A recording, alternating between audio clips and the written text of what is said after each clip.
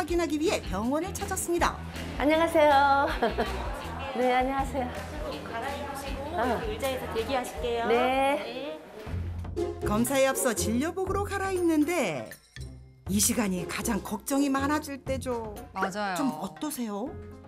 병원에 오면 약간 걱정이 돼서 오긴 하지, 오지만은 희망적으로 생각했어요. 긍정적으로 생각했어요. 아, 아프면 어떡하지, 어떡 이러면요. 이 몸이 다 알아가지고 더 아프게 만들어. 희망적이야, 좋아질 거야. 이렇게 긍정적으로 생각했어요. 그러면 좋아져요. 최근 들어 골반과 허리에 간헐적인 통증이 찾아왔다는 서로 육녀. 보다 정확한 상태를 알아보기 위해 각종 검사를 진행하는데요. 그 결과는 어떨까요? 어, 안녕하세요.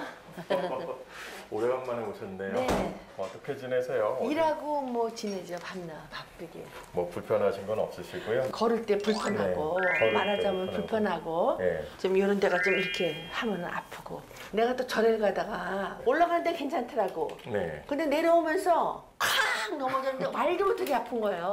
그거 기부스하고 난 다음에 이렇게 걷는 게 그냥 그렇게 그냥 힘들더라고요. 말씀하시는 게요. 이게 좀 걱정스러운 게 좀 몇 가지가 있어요. 자꾸 뭐 내경색이 있으셨으니까 아무래도 좀 여기저기 조금 힘이 빠지고 이러는 게 있으시긴 한 것 같은데요. 선생님 요 엑스레이를 보면은요. 내가 봐도 약간 쉰 것 같다. 네, 그죠? 조금, 조금 휘었어요. 그 다음에 여기 보면은 그것보다 더 안 좋은 게 허리를 숙일 때 4번하고 5번 사이가 약간 어긋나는 듯한 모습을 보이거든요. 제일 내가 흔한 약간 4번, 5번에 약간 합작증이 있다고 했어요. 그러니까 엉치에서부터 다리 쪽으로 저리고 당기는 증상을 자골신경통이라고 그러고 원인은 대부분은 허리에 있습니다.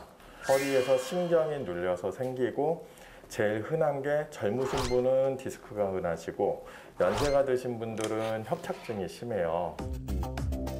한국인의 삶을 고달프게 하는 병 1위는 바로 허리 관련 질환인데요. 6년 사이 디스크 환자가 두 배 증가했을 정도랍니다. 게다가 척추는 평생 크고 작은 충격과 체중을 지탱하기 때문에 노화의 가속화를 막기 위한 관리가 필수랍니다.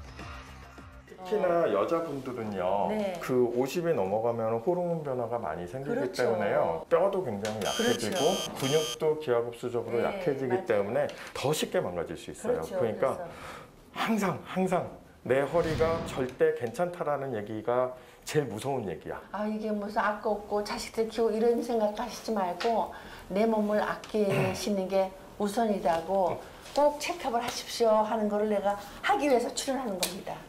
이게 어르신들이 그 허리가 만성적으로 아프시니까 잘 안 오시려고 하시는데요. 이 허리에 문제가 있을 때 꼭 오셔야 되는 경우가 몇 가지 있어요. 대표적인 게 이제 다리가 저리면 꼭 오셔야 돼요.